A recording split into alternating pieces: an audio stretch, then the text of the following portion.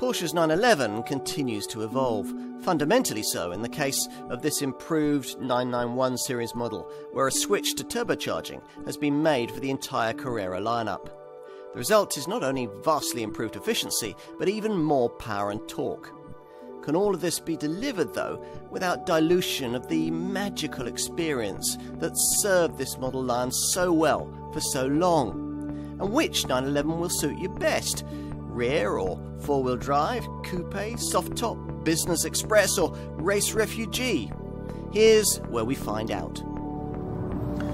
The engine has always dominated the 911 driving experience, and that's just as true with this turbocharged Carrera. The 3 litre flat 6 might sound a touch more muted than the previous normally aspirated unit, but you still get a delightful howl from the boxer motor and significantly more pulling power too. With so much low and mid rev torque from this turbo, you can drive it as lazily as you like.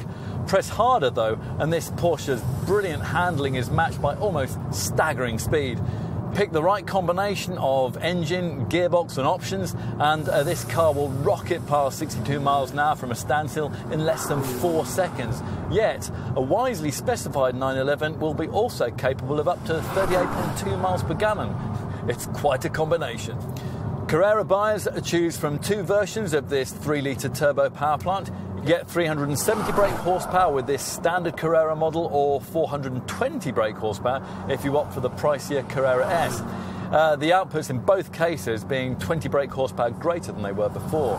You can also choose between rear or four wheel drive and manual or PDK auto gearboxes. Plus, there's a driving mode rotary controller that allows you to tailor the throttle response and even the exhaust note to your taste. You can alter the suspension feel too, thanks to the now standard Porsche Active Suspension Management System. With PDK Auto models, the driving mode controller offers an additional Sport Response button for quicker overtaking. And there are also optional systems that can reduce body roll, improve corner turning, and even richen up the exhaust note should you want them. It's easy to assume the styling team for the 911 has the easiest job in the world.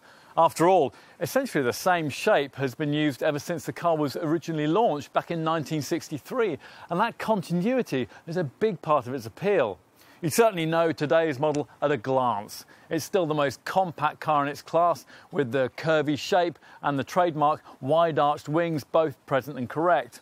Look a little closer though, and there are plenty of examples of evolution in action many of them prompted by the installation of that new turbocharged 3 litre engine plumbed in out back.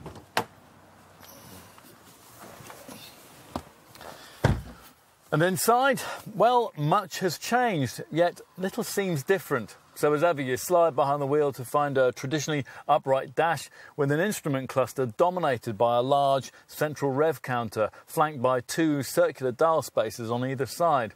Uh, cabin quality is everything you'd expect from a six figure supercar and includes lovely details that existing owners will definitely recognise. Uh, things like this digital and analogue stopwatch centrally placed on top of the dash and fitted as part of the optional Sport Chrono package.